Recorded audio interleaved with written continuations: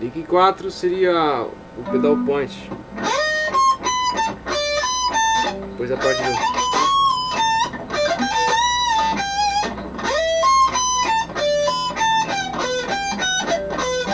Pedal point vem crescente.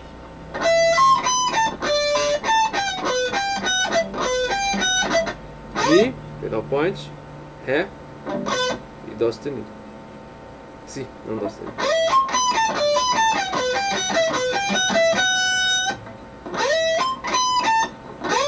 Precisa vir com slide, né? Uma de cada.